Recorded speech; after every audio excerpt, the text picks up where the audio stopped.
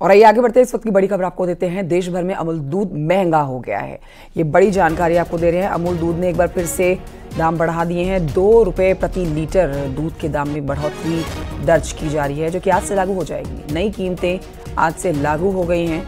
यानी कि अब जो दूध है, आपको दो रुपये और महँगा मिलेगा। अमूल ने एक बार फिर से दूध के दामों में बढ़ोतरी की है।